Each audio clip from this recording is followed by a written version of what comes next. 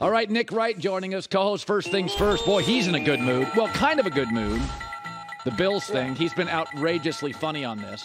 But for the what? Did you look at my list right there? Did I? Did, you- Yeah, can we talk about it for a second? Sure. Can we throw it back on there? Sure. Let's throw it back I, on there. what, here's so listen. I I think you did a great job with it.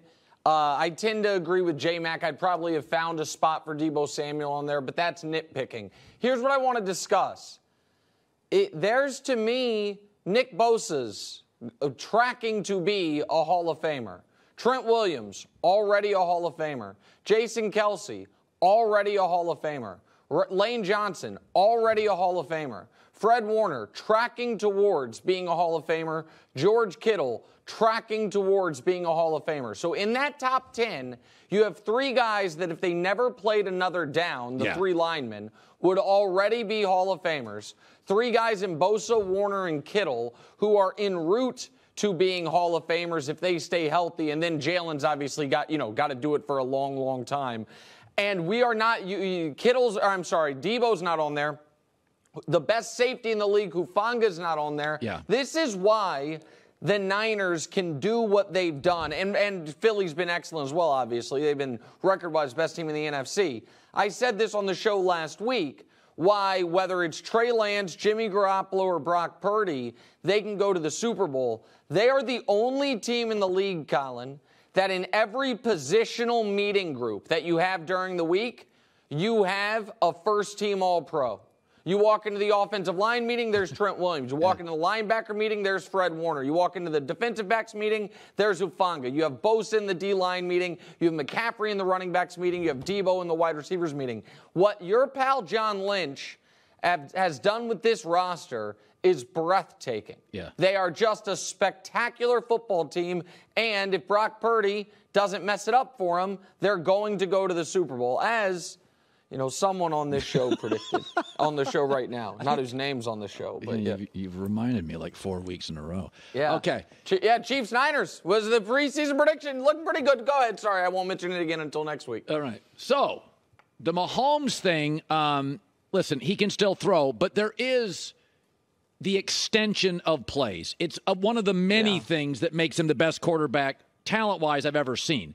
The extension of plays. It is very likely that he won't extend plays as well. How big of a concern is that to you? I mean, it's a concern. Uh, there, there's no doubt about it. The the Bengals are legit. The Bengals are the team, and Joe Burrow is the quarterback. That, pardon me. That all year long, the media pretended the Bills and Josh Allen were. These are the actual rivals. Joe Burrow actually is the second best quarterback in the league, and they are 3 and 0 against Mahomes and the Chiefs in the last 13 months. Now, it should be mentioned the Chiefs had leads going into the fourth quarter of all three of those games. Yes, they did. One of those games, the AFC Championship game, Mahomes uh, kind of short wired uh, mentally at halftime after he screwed up the end of the first half and played the first bad 30 minutes of playoff football of his career. So it's not as if the Chiefs can't line up with these guys. Right. And it is in Arrowhead for the fifth straight year, what was formerly known as the AFC Championship game, of course, now known as the Arrowhead Invitational. You can get your tickets for the 2024 version now, actually. I, those hotel rooms are getting booked up. But hey, listen, this is a, the, the line's about right. A pick 'em is about right. I will say, we've never seen the Chiefs in this spot being able to play the underdog card. Yeah. Being able to play the no one believes in us card. And Colin, even Mahomes on one leg. Here would be after these playoffs, what happened with Josh Allen, with you know the the kind of emerging of Trevor Lawrence. Here's would be my updated NFL quarterback rankings, and I wonder what you think of them. Mahomes one, Burrow two, Mahomes on one leg three. You're laughing. I, Mahomes played the second half on one leg uh, on s- this weekend. I would have taken Mahomes on one leg over what I saw from your Buffalo quarterback on two legs. Tell you that much right now. Well, you know, it's interesting. The comp, the comp for Allen is Big Ben. And when Brady and Manning were chopping up the AFC with their efficiency, their pre-snap excellence, Big Ben was good early, but but he didn't win as much as we thought he should. And I look at Josh Allen. Is he Big Ben? wildly talented, sometimes too wild. Uh, has a defensive coach. The league is pivoting to offense. I mean, Sean McDermott had a bad weekend. Bad. Yeah. Um, I know you have been very critical and taken a lot of heat for Josh Allen for years. Do you feel? Yeah. Do you feel today you've been validated? Yeah. Right? Yeah. Like once again, the, you know, that I'm the best in the world at sniffing out media creations. You know, from the same studio that brought you Don't Believe in the Clippers, and then the smash hit The Nets Are Frauds brings you Why Are the Bills the favorites? What have they won? Yeah. What have they done? Why did the Bills get more credit for losing to the Chiefs than the Bengals got for beating the Chiefs in the playoffs? And by the way, for all our friends in upstate Western New York that love to think, oh, if the coin flip goes our way last year, what? If the coin flip goes your way, what? You beat the Chiefs? Maybe. Well, the Chiefs, though, then went and lost to the team that lost the Super Bowl. Oh, it'd be different. That game would have been what? Cincinnati couldn't have come into Buffalo last year and done what? Dog walked you up and down the field like they did this weekend? I think they could. So you brought up a few comps. I've got to listen. You said Philip. You said Big Ben. If we're doing AFC quarterbacks of the 2000s, someone's got to prove to me he's not Philip Rivers a guy that never made a past conference championship game, never won a league MVP, yeah. had a ton of talent, and had some decision making issues for a historically snake bitten franchise. You brought up Sean McDermott. Where did Sean McDermott come from? Carolina. Uh, Bills fans, don't go looking around Cam Newton's football reference page right now because it'll make you a little concerned. Yeah. Big, strong, physically intimidating quarterback that runs too much, has some decision making issues, but you're wowed by the talent. Yeah. So that's the Josh Allen part of this. The Josh Allen part of this is third and two, deep shot, third and four, deep shot, third and six, deep shot, instead of moving the sticks, getting a first down, yeah. playing a precision offense. That's that part. Now the Sean McDermott part of it. Eight coaches this past week in Colin, seven of them offensive, one of them defensive. And the defensive minded head coach is Sean McDermott. And since the Bills have been alleged contenders, here is how their seasons have ended 2020, that defense allows 38 points to Kansas City. 2021, that defense cannot get off the field with 13 seconds left and allows 42 points to Kansas City. 2022, at home in the snow, that defense, uh, they only allowed 27, but Cincinnati did everything yeah. they wanted yeah. for three and a half hours. Yep. It felt like they could have scored 37 if they needed to. Yep. They, they, there was no resistance at all. And you've spent a lot of draft capital and a lot of money on that, that defensive side of the ball, and they're not showing up. And as the great Marlo Stanfield once said, the price of the brick is going up for the Bills, Colin. Josh Allen's cap hit goes from 16 million to 41 million. Yep. Stefon Diggs goes from I think 13 million to 20 million. Von Miller's number goes way up. Jordan Poyer's a free agent. This was their moment. I'm going to give you one more insane Bills stat. This via Scott Kacsmar. Give him credit because I didn't know this.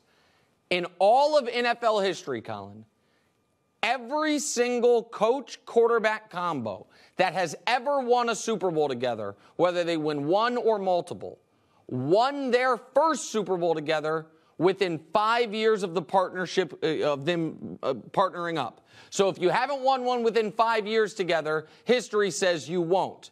There were two coach quarterback combos that entered year five this year without having won a Super Bowl Lamar and Harbaugh, McDermott and Allen.